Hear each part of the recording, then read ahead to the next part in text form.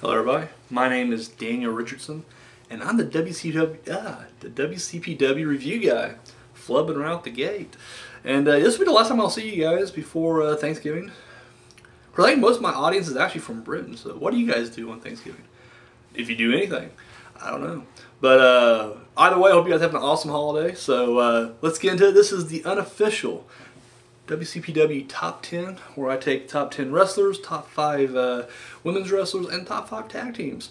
Now, before we get started, I got some uh, conversation with some people last week regarding my list. And uh, I've explained before, I'll, I'll, do it again. I'll explain it one more time.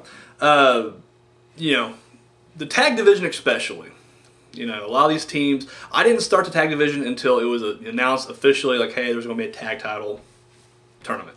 Like, all right, tag title tournament, tag titles are in the picture. We're doing a top, top whatever, top three at the time, and then we built top five, whatever.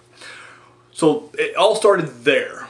So the tag team, such as Mustache Mountain, who was the tag team in question during this entire thing, uh, reason they're not on my top five, they haven't won a match. They haven't won a match. Now, there are a couple, there's another team on there that hasn't won a match either, but they were featured before. And I did a video, if you want, I did a video, it was uh, a top 10 video where I actually explained the method behind my madness, the whole process I go through.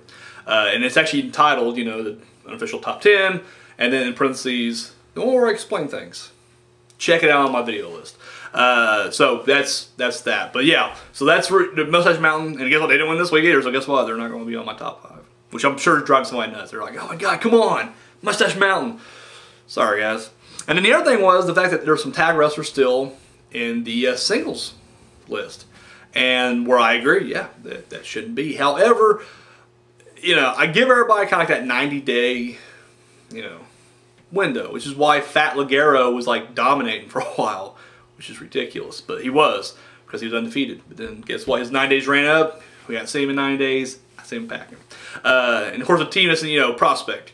Uh, Alex Gracie, Lucas Archer, because at the time, there was no tag division, so their all their tag wins, which they actually racked up quite a few, was being put into just their overall whatever, and it bumped them up the list pretty quickly. So they're, if you notice, uh, Alex Gracie, Lucas Archer, they're almost almost always on my top ten every week. Uh, and that's the reason why, just because before the tag division became a thing, there wasn't one, and so their wins put them on here. Same with Johnny Moss. Johnny Moss is on here like all the time as well, and uh, same thing, just because phew, before tag division. Now, they haven't competed in singles action. Once that 90 day run out, I'll boot them off the top 10 we'll bring someone else in. But until then, gotta be fair, gotta, gotta be consistent with everything. So uh, that is why certain people are on the list. So there you go. Uh, once again, check out that video if you had any questions about what I'm talking about. You'll be like, uh. otherwise, let's get into it. Let's do it. Top five WCPW tag teams. Uh, at number five, they dropped the spot this past week. I'm talking about Ameen and Kidd. Ameen and Kidd. They were four, now they're five. Number four, a brand new tag team who just debuted. I'm talking about the Swords of Essex. The Swords of Essex, they had a big win over Mustache Mountain. If Mustache Mountain would have won, it could have been them in this spot, but it didn't. So, see, spend much time goofing around, playing for Mustache, and doing this vertical suplex thing, and then passing it off three or four times. Guess what? You gonna win matches. Swords of Essex didn't do that shit. They went in there, got the job done, and won. They're number four, so there you go. Uh, at number three, for a second week in a row, we got Moss and Slater. Moss and Slater. At number two, for a second week in a row as well, the Strong Style Collective. That's right. And number one, going going into their fifth week at number one, Prospect. Prospect. Number one tag team WCPW right now, so. All right, or unofficially, I should say. Uh, we're going on the women's division. This has not changed at all from last week, so I'll just kind of run through it. Number five, third week in a row, Little Miss Roxxy. Number four, for a third week in a row, Kimber Lee. Uh, at number three, for a seventh week in a row, Alex Windsor. Uh, at number two, for a seventh week in a row, Bea Priestley. And number one, for seventh weeks in a row, uh, we got Nixon Newell. So there you have it, Nixon. We need more women's matches. We need more. We need to have more than just one set of match per month. We need to actually get going, get this moving a little bit more. So, so there you go, Nixon Newell, number one women's wrestler unofficially and officially because she is the champion. So, all right, so let's move on to the top 10, shall we? Now, this week at number 10, uh, we got someone new on here. Uh, he's been here before. He was here a little over a month ago, but he's back. Will Ospreay. With a huge win over uh, Martin Kirby, by hook or by crook, but he still won and got him on top 10, so Will Ospreay. Number 9, for a uh, second week in a row, Alex Gracie. Number 8, dropping two spots from last week, we just mentioned him. He lost this past week. Martin Kirby. Martin Kirby drops down the list. So at number seven, going up a list because when someone goes down, someone must go up. Uh, number seven, Primate, up a spot. Uh, at number six, also up a spot, Johnny Moss. Number five, dropping a spot, Joe Coffey. Joe Coffey was four last week. He's he's five this week. Uh, at number four, the little switcheroo there, Lucas uh, Archer went up. I can't explain that. I did the numbers three times just to make sure it's correct.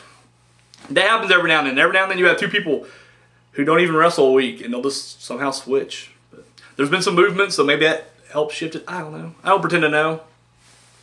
List. Number three, for six weeks running, uh, he's the internet champion, El Ligero. El Ligero. Uh, and of course, he had a huge uh, internet title defense this past week. So this guy, this top three is not moving for a while. It's because they're just damn good. Uh, yeah, so there you go. El Ligero defeated uh, Marty Scurll, so he's staying there. Uh, at number two, also six weeks running, we got Joe Hendry. Of course, he had a big win over uh, Doug Williams this past week, keeping the spot there. And number one, also six weeks running, uh, we got Joseph Connors. And he, of course, is the WCPW champion, so Unofficially and officially, he is the number one guy in WCPW. So you guys agree with this list? Do you disagree with this list? Let me know in the comment section down below. And one final time, let me just throw a big uh, congrats to uh, Prospect, Nixon Newell, and Joseph Connors. You guys are all number one in your respective divisions. Congratulations. So guys, share and subscribe if you haven't already. Uh, show this video that thumb and love. Follow me over on Twitter, WCPW Review Guy 1, and at Facebook. WCW Guy. Uh, so yeah, that's all I got, guys. Thank you so much for watching. Have a great holiday, and uh, yeah, that's it. So until next time.